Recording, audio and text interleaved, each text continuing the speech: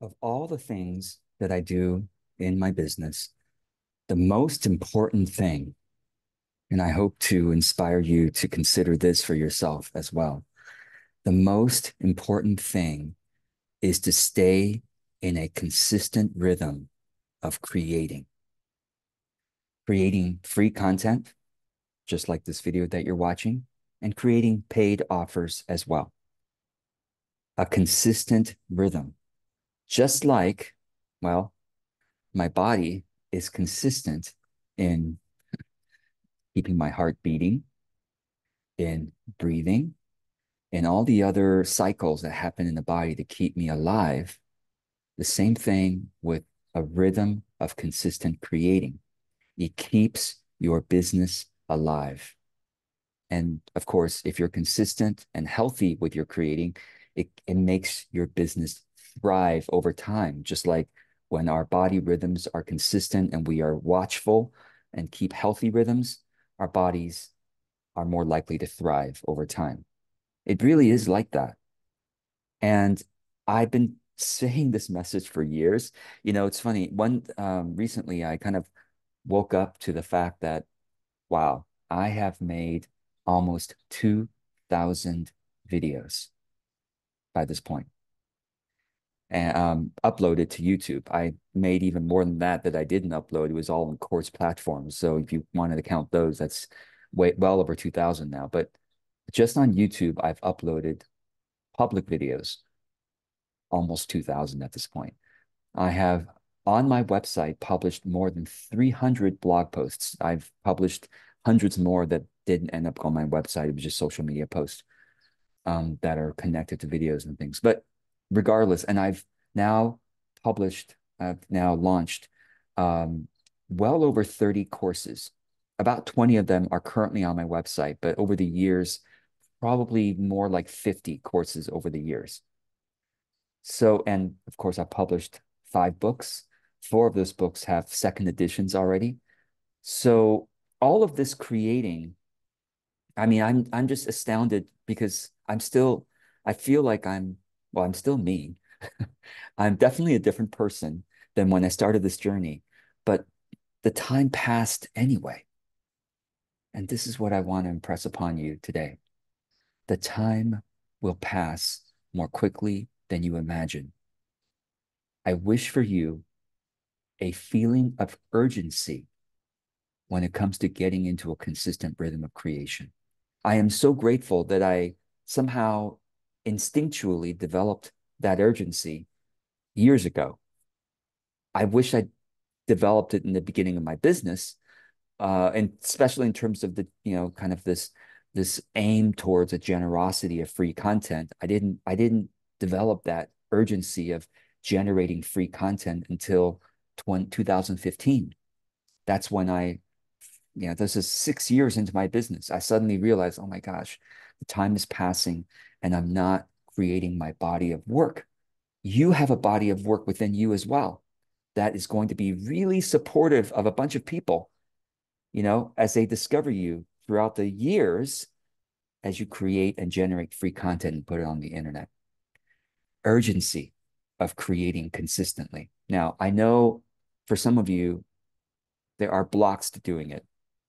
You have limiting beliefs and I'll just kind of talk through a couple of those limiting beliefs. Hopefully, this will unblock you and unlimit you. All right. So, one of the, and I have to refer to my notes at, at this point, one of the limiting beliefs is, well, George, I haven't figured out yet my my niche. I haven't figured out who my ideal audience, who am I really trying to reach, and what am I trying to to to offer them? Listen, listen, listen, listen. I'm still trying to figure that out. Okay. Are you kidding me? That you are supposed to somehow figure out your life's work purpose, you know, and then go about doing it. I mean, that sounds, I guess that sounds right. Oh, you got to put the horse before the cart, right? Of course, you got to figure out your niche and your life purpose and your and whom you're supposed to be serving and based on your skills and integrate all of the things. And listen, listen, listen, listen.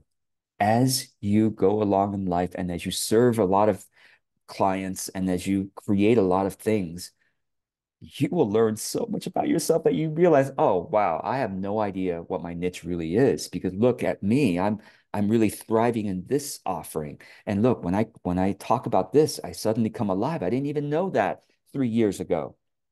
Okay. Or th three three weeks ago or three days ago. So listen, I I've said this in another video before, but I mean, if you if you are really interested, if you really are getting a lot out of niching yourself and doing that work, great, wonderful. You know, I I I don't, you know, I I I want you to do the work that you, that makes you feel like you're thriving. Great. But if you are saying, and maybe for months now, maybe even for years, well, I got to figure out my niche and ideal audience and offer, and then and then George, I can get into a consistent rhythm of creating. You're stuck. You're stuck. You're blocked if I mean, even if you spend more than three months stuck like that, you're stuck, you're blocked. And I experienced that myself in the beginning. This is why for six years I didn't create consistently because I'm like, oh, I got, I'm still figuring out my my framework. I'm still figuring out what my niche is going to be and what I'm going to really offer once I grow up. No. And then I re realized, oh, I'm never going to figure it out.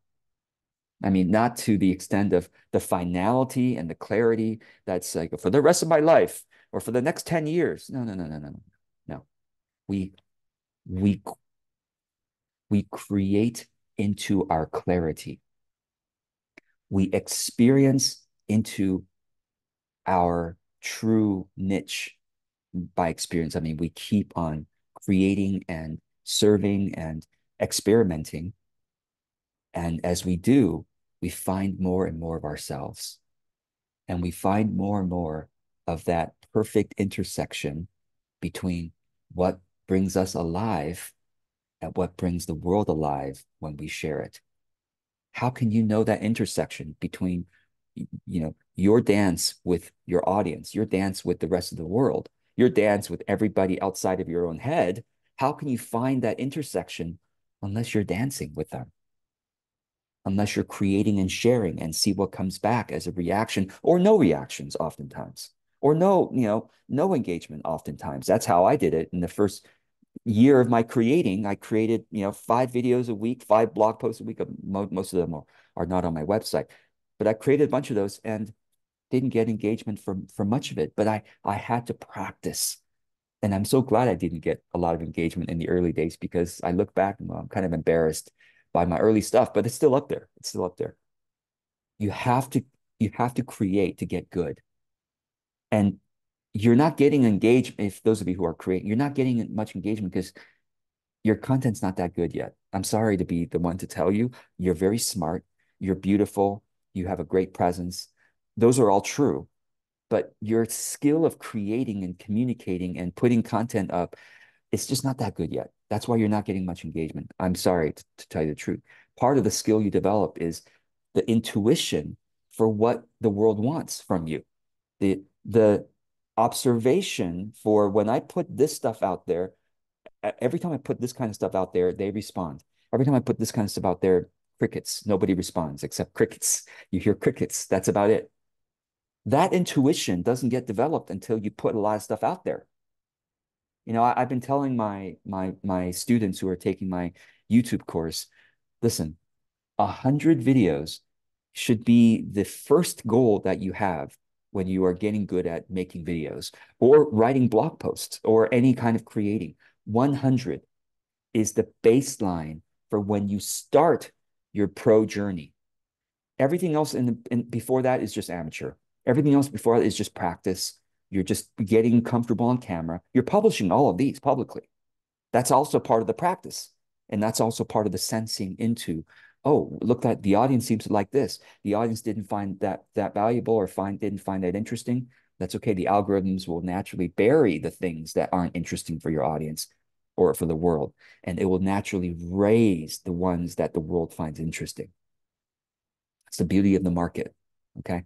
So a hundred is the is is the bare minimum as a start to okay now i'm starting my my honest journey as a writer i've written a hundred blog posts now and published them now i'm beginning my honest and genuine journey as a professional writer Before the 100, it's all just practice. It's amateur practice, flailing around, publishing, all of it.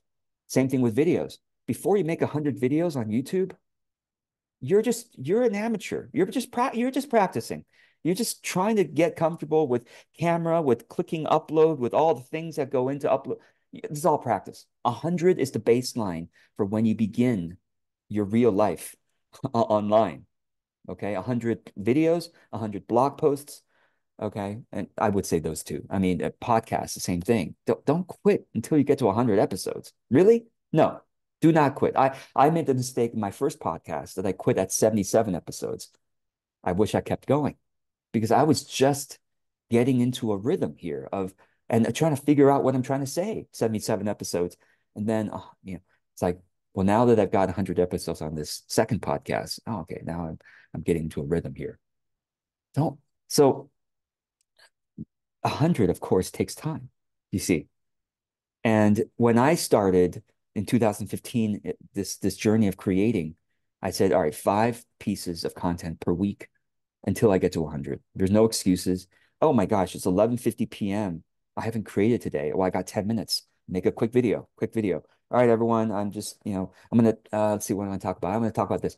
It is surprising how smart and capable you get when you give your, when there's a real due date, a deadline, whatever you want to call it. And the, the, every day there's a natural deadline. The sun rises, the sun sets. Notice how consistent nature is. That should be a clue for us nature is extremely consistent. Sun rises, sun sets. The sun doesn't go.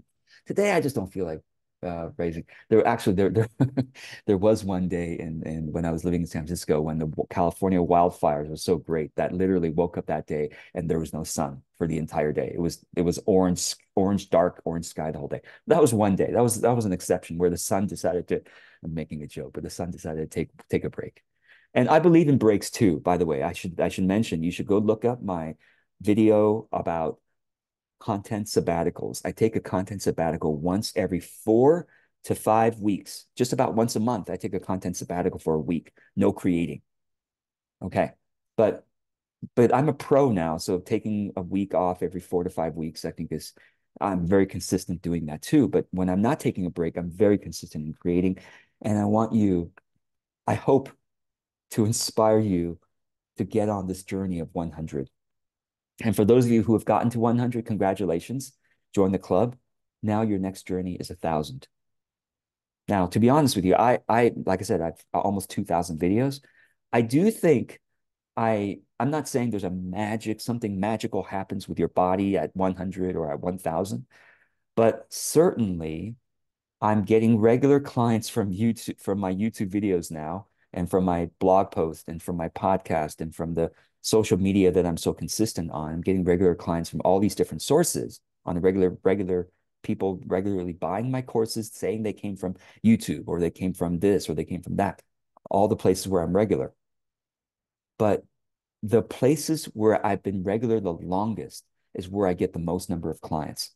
I get way more clients and, and purchases of my courses and, and inquiries about my programs through YouTube than through my podcast. Why? Well, YouTube, I have almost 2,000 videos. My my current podcast, it's only, mm, I think, almost 200 episodes, not like 2,000. You see what I mean?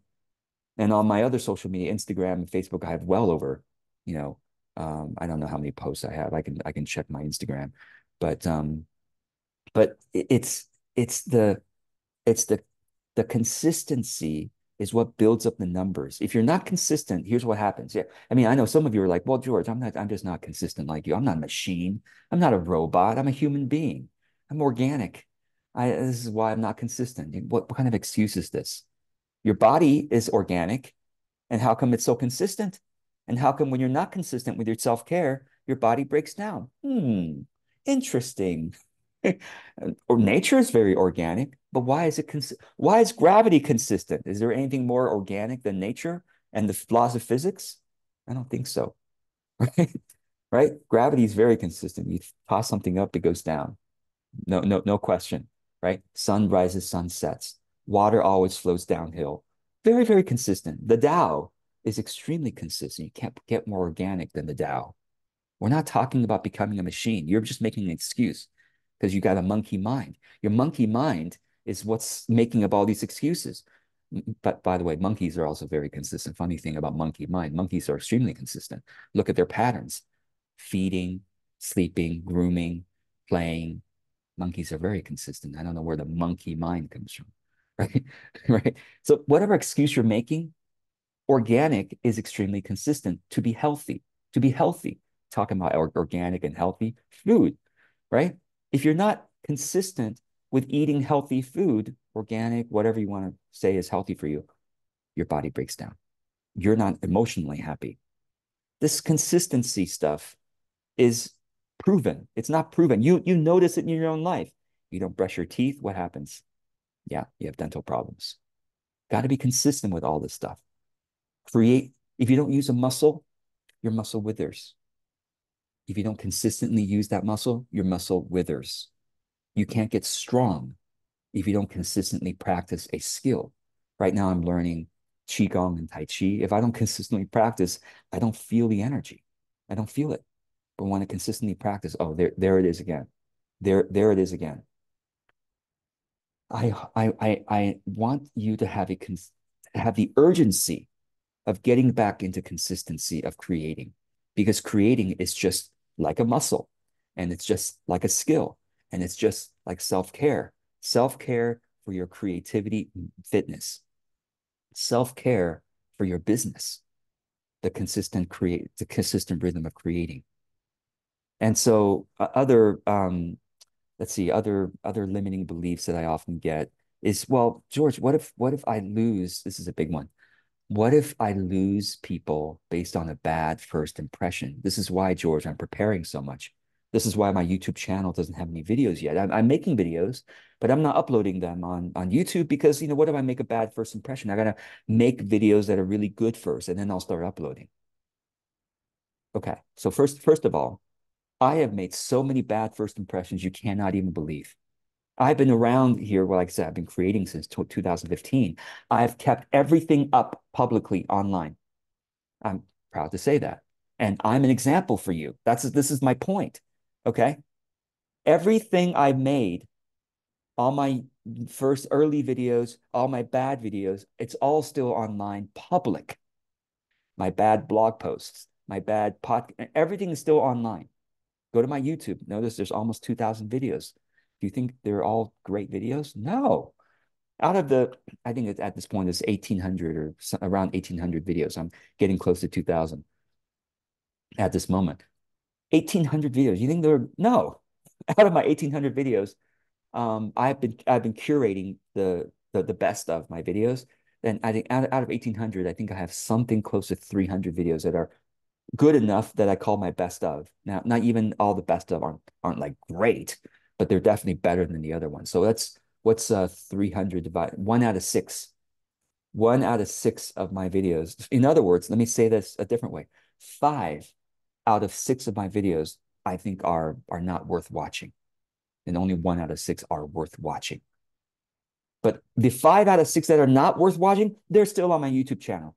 I still keep them up. A lot of people still stumble upon them. Sometimes they watch my best video and then YouTube recommends another video that I don't think is that good of a recommendation. They have a recommendation engine, you know, called For You, F O R Y O U, For You. And sometimes I see the recommendation. I'm like, I don't know why they recommended that one. It's not that good but they do. And so I trust me, I'm making plenty of bad first or second or fifth impressions, making plenty of bad bad ones. And yet my business is still thriving. You, it, when, if you get yourself stuck with the first impression mentality, you're going to be stuck for a long time. You're going to be always stuck. You're going to be always in fear, is what that is. It's your fear. Are you going to are you going to give in? Are you going to feed your fear? Because that's exactly what it is. Fear of bad first impression or 10th impression or, oh, I don't want my next impression to be a bad impression. That's fear. And you're feeding it. And I say to, to heck with it. I said, I'm gonna I'm gonna practice, practice, practice, setting aside that fear to say, you know what? I'm sorry. I'm gonna surrender. I'm gonna surrender to the Tao of creating and just say, I don't know what's good. I don't, I'm not going to be the judge of what's good or not. I'm going to let the algorithms tell me I'm going to let the data tell me I'm essentially what the algorithms and data are. They're saying what the humans are telling me. They, that they're summarizing human reaction and say, yeah, that video wasn't very good. We're going to, the algorithm will naturally try to bury it, even though YouTube sometimes recommends things I don't like as much. But most of the time, they re recommend my better videos, most of the time, because they have more data than me about what humans actually watch, right? And so please let go of bad impressions or let go of I'm not clear yet. That all gets sorted out when you create, as you continue creating, as you continue exploring through your creation. You're, I'm exploring right now, as you can tell this video, right? Exploring, man, but it's it's in a very important part of the process. Get to 100. All right? Get to 100 and celebrate for sure. And once you get to 100, guess what? Get to a 1,000. And now that I'm almost at 2,000, I can't wait. Celebrate at 2,000 videos. And then I'm like, great, 5,000 is my next milestone. I'm going to keep going. But every every thousand that I go, my business just keeps thriving. I mean, my business is thriving more than as ever has been since 2000 not ever you know more than any other year my business is thriving because of my consistent rhythm of creating. Get urgent about it. The time is going to pass. I can't believe i made 2000 by this point. The time passed. What happened to the time? I felt urgent about creating every single week and every single day not saying you have to create every day but whatever rhythm you have get really urgent about sticking to that rhythm. That's one thing I, I think much of life can be relaxed. This this should not be relaxed. Much of my life, like I said, is very relaxed. The only thing I'm not relaxed about is, oh my gosh, am I on my rhythm of creating? If not, let me set aside all my fears, practice setting aside all my fears and anxiety, and just create and surrender. Surrender to the divine results, right? The results are not up to humans, it's up to the divine. So get going, get urgent to get back into your rhythm of creating. I hope this is helpful.